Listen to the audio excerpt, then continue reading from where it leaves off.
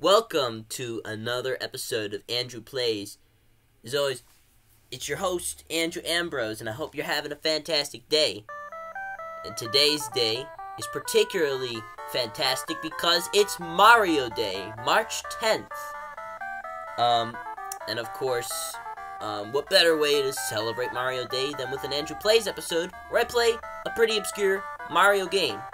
What better than Kaettekita Mario Brothers for the Famicom Disk System, released by in, by Nintendo in 1988. Um, basically, um, Super Mario Bros. 3 was being released in Japan in 1988, and uh, Nintendo got together with Nagatanien um, to uh, to help hype up uh, that game with um, this game, Kita Mario Brothers. Um, which is basically um, an enhanced uh, version of the Famicom port of Mario Brothers, but it's on the disk system um, and has uh, better graphics, more closer to the arcade, and also better controls, making it the best way to play Mario Brothers besides the original arcade cabinet with the wide body and the two players side by side. And for those wondering, Nagatanien is a food product company in Japan, and after Super Mario Brothers became such a big success, um, they were one of the companies Nintendo partnered with to make um, Mario-related merchandise.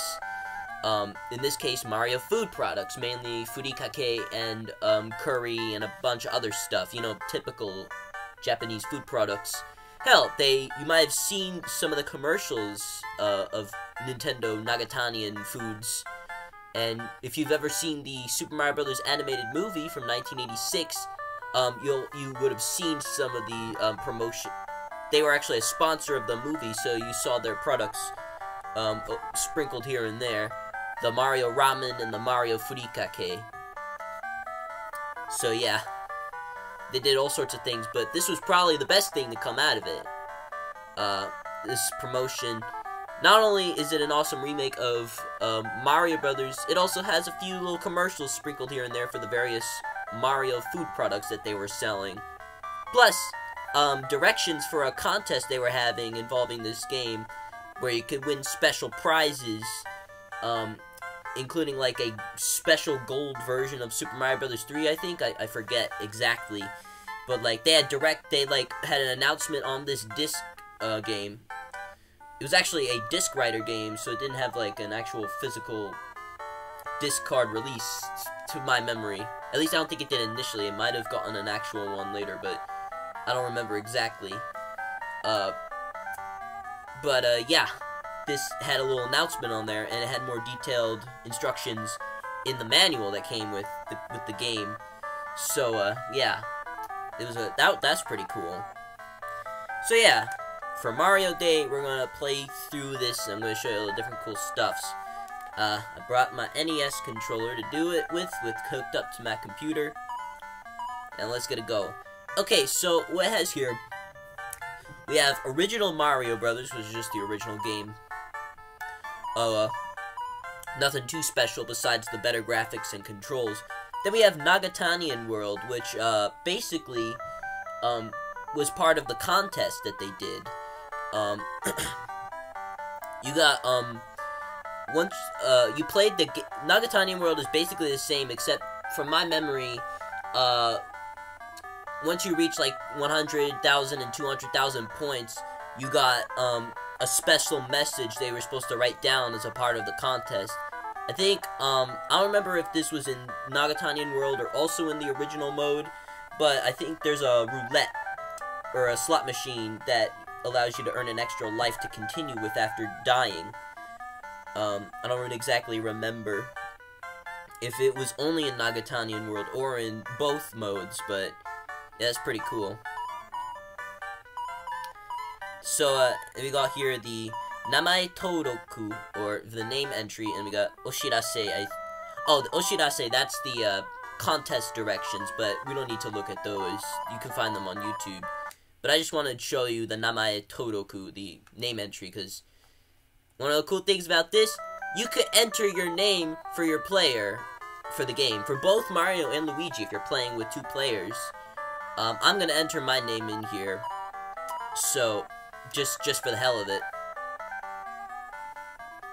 So you got, it only does, it's only in hiragana, unfortunately. No, like, there is no, uh, in, there's no, uh, Roman letters to choose from, so you can't do your English name.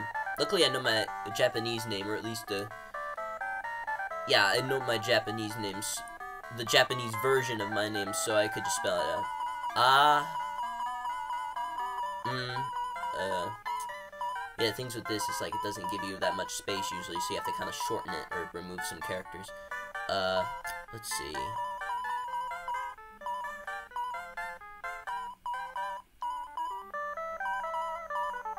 Akasata. Ah, uh, to.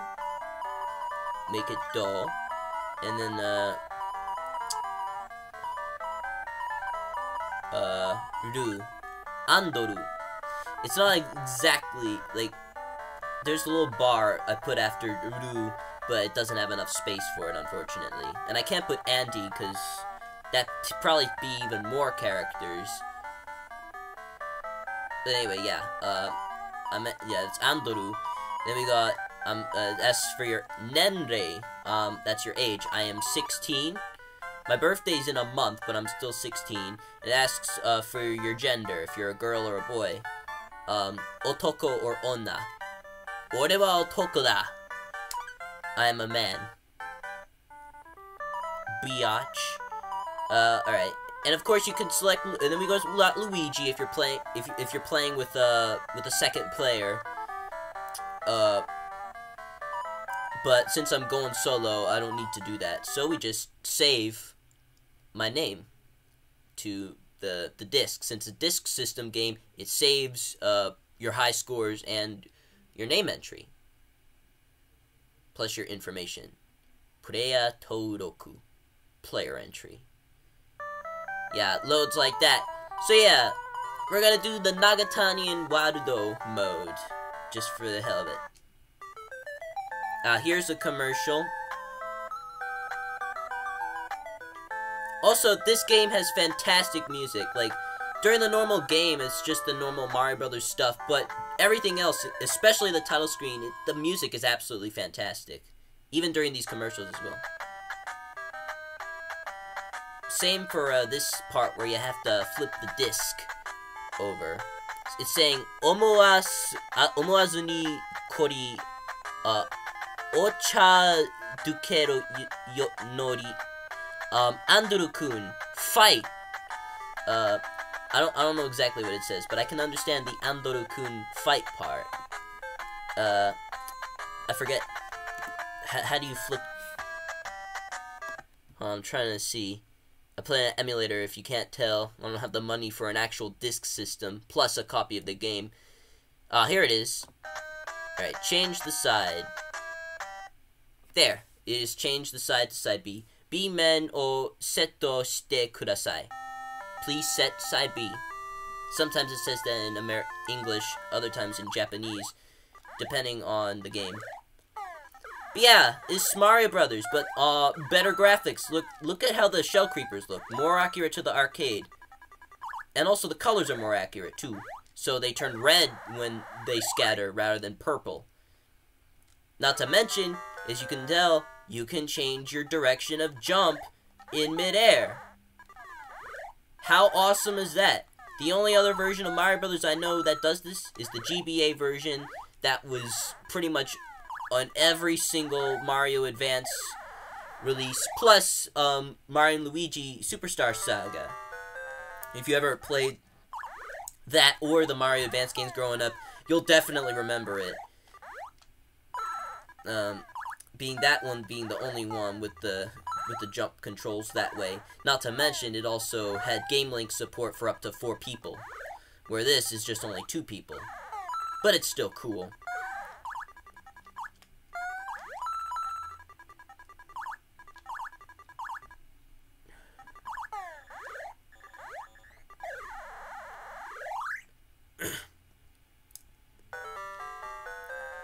Test your skill. Oh, I will. You know, it's already been more than a year since I started this Andrew Plays revival back in February of last year. And it feels fitting that I'm going do doing another Mario uh, game, or Mario Brothers related game, since the first game I did for this was Mario Brothers Special on the Sharp X1, as well as right after, immediately after that, Punchball Mario Brothers, um, also on the X1. So yeah, I guess it comes full circle for the full year. Although technically, I did do uh, a different game before this. I uh, oh the mahjong game I did um, right at before this, only about a week ago. Yeah, a week ago I think. Yeah, I remember a lot of things, but I guess not everything. I still have those moments where I forget simple things. I guess my brain can only um can only be occupied by a certain amount of stuff before it has to make its deductions, if you know what I mean.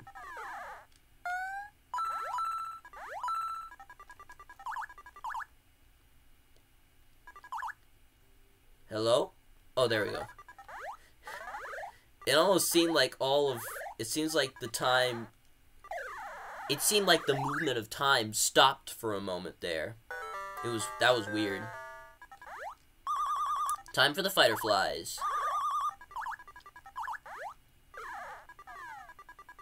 You know, I should have mentioned if it weren't if it weren't for Mario Brothers, uh, Mario would not have been the star of Super Mario Brothers. I don't know if you've heard this before. Basically, Mario Brothers was actually a really popular game on the Famicom during its really early days, like during the first two years it was out in Japan.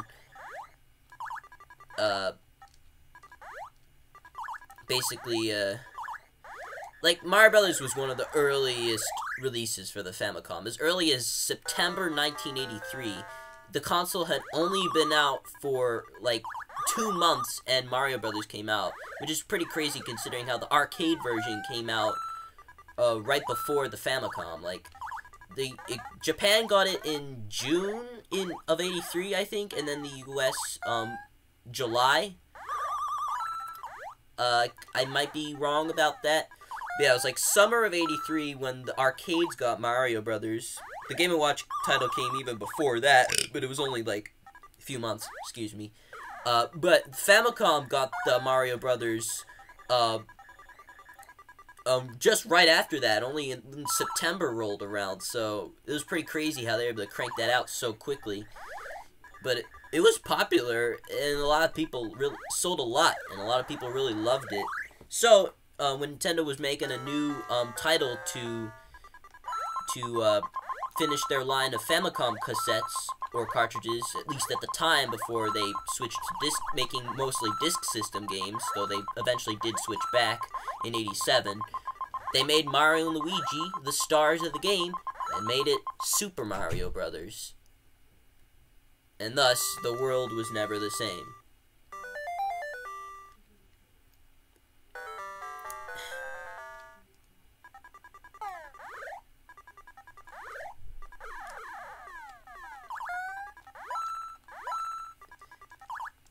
Besides this and the G aforementioned GBA version, probably the best home version of Mario Brothers that isn't emulating the arcade, it pro that would have to be the Atari XEGS version. Um, another little interesting history tidbit that some might not know. Back, um, back in the early 80s, back before Nintendo started doing their own home console software the, with the Famicom and and all that. And even then, before they started doing it in America with the NES in 85, um, they had to license their stuff to other companies. They licensed Donkey Kong and Donkey Kong Jr. to Coleco for home consoles, and Popeye to Parker Brothers for home consoles. Um, Atari got to got the rights for Mario Brothers in the home consoles and home computers. They did also get the rights for Donkey Kong and Donkey Kong Jr. for computers, but for uh, for consoles, they only had Mario Brothers, as well as Mario Brothers for computers. Um, and well, they did a pretty they did a pretty awesome Atari 2600 version of the game. It's a little janky in a way, but it's still really fun, and it's it's it's just fun in its own sort of way, and honestly, I think it was the best that Atari could do at the time. It was still a really good version, still a lot of fun. At least th that's the way I feel. Some may not like it as much. Uh,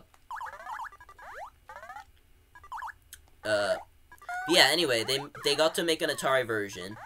They also made a version for the Atari 5200, and they were planning to do a version for the Atari 8-bit um, computers, which would have been just like the 5200 version, as shown by the screenshots that they that are available to see on the internet.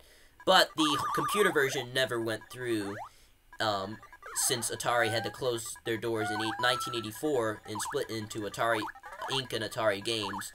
Atari Inc. Um, came back full swinging with the computers and the Atari 7800, though thanks to a contractual copyright loophole, they actually were able to, they still actually had some sort of rights to make new versions of Mario Brothers, um, as well as Donkey Kong and Donkey Kong Jr., even though Nintendo was publishing it themselves with the NES versions. So they were still able to they were still able to release um, their older versions, as well as make new versions for the 7800. Um, and well, with the uh, with the Mario Brothers, they would have put out the older one, but they apparently lost the source code for it, so they had to break make a brand new version for the XE, Atari XE from scratch. Um, and from there, they made an even better version. Um, and it's just really awesome version. Much better than the 5200 one, honestly. I'm glad I'm glad that they made a new version. For Donkey Kong and Donkey Kong Jr., from what I understand... Oh, there it is! There's the, uh, there's the message. Omedetou, Andrew, Andoro-kun. Uh, uh, uh, 10万点クリオしました. Uh, Andrew, uh, congratulations, Andrew. You got 100,000 points. この暗号をはが、はがきに書いておくってね。おいす、 す、すわ、すわい。詳しくはおし、お知らせを見せてね。Yeah, I think it was just saying like, uh, take the message or something on the postcard. Or, uh, it's because like for the contest, you had to do a postcard thing. Like, I forget exactly what you had to do. But yeah, uh, for the Donkey Kong and Donkey Kong Jr. computer versions, they just re-released those. But the the computer version of DK was good, was really good as it is. So there was no need to make a new version either way, with or without source code, without with or without any sort of source code. They still had a good version on their hands, so I'm glad they just kept it the way it is. And of course, they made uh, Atari 700 versions, brand new ones, based off the NES ones, uh, funnily enough, that were released in 1988. Um, those were some pretty good versions. I actually have the Atari 700 version of Mario Brothers. It's pretty good. The frame rate isn't as smooth as on the NES, but it's still really fun. Um, and the graphics look really nice. Probably even better than on the um, the NES. Or Famicom, rather. Kill cracks, kill, kill the sidesteppers, kill the fighter flies. The, the Slipices can go to hell too. I don't like them. They're mean and they don't pay their mortgage. Who even knew that Slipices could own property?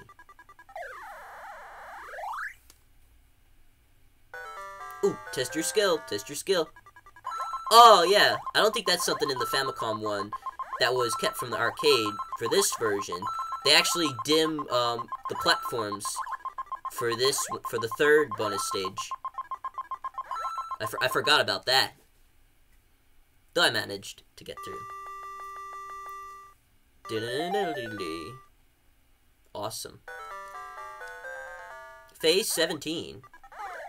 I don't think I could ever get this far in the regular Mario Brothers. That just says more of how these newer controls really help. Oh, there, there's the icicles that, uh, we didn't even mention that in the Mario Brothers review because we weren't able to get that far, um, with that.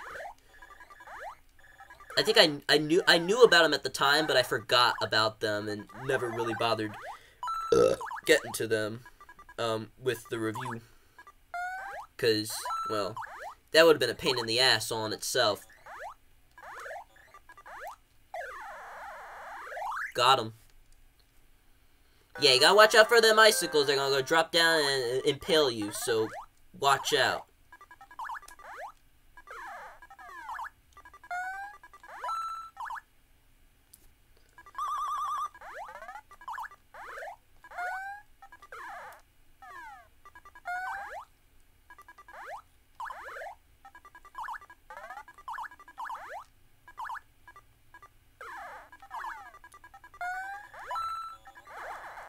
Yeah, those fireballs are even bigger than in the arcade, so you really gotta move your ass out of the way, or else you get stung. Or burned, rather. Stung is for stingers, burn is for fire. 148,080. If I had a dollar for... if I had a dollar for every... Uh, for every uh, I, for, I forget the line. For everything you have in your brain, I have one dollar.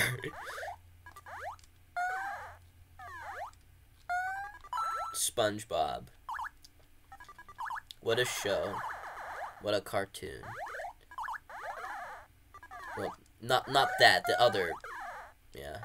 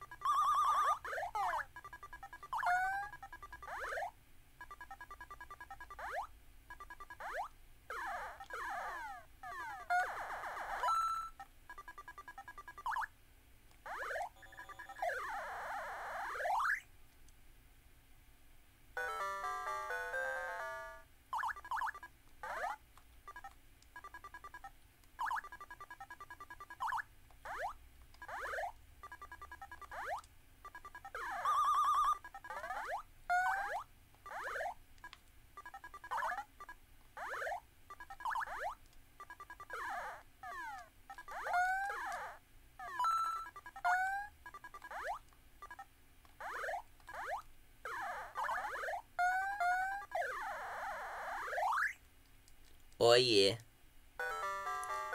69. Low. Oh, it's round... This is, uh, phase 22. Damn. The little pitter power of Mario's little feet never seems to get old for me. Actually, now that I think about it, this this is probably... I just realized after the uh, before Super Mario, like after Super Mario, after this game, or well, ever since Super Mario Brothers, it doesn't seem that there were that many Mario games where Mario's footsteps made that many noises. Y you know, it's like after like like I think that might have been beside like S Super Mario Brothers might have been the very first Mario game where we don't uh, usually where, the, where we don't see that from where we don't hear Mario's footsteps. Oh shit! Oh damn! That took that took me by surprise. Chotto matte ne. I'm pretty sure you already know what that means. You might have heard it a million times before or something. I don't know. For what I'm waiting for, I don't I don't remember.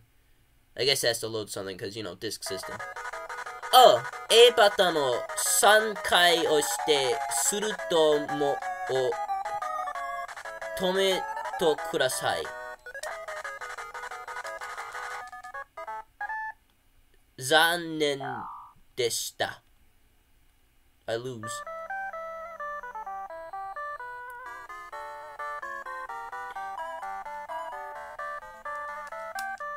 Alright, and then you got all the scores. Would I like to save? Hell yeah. Save to this.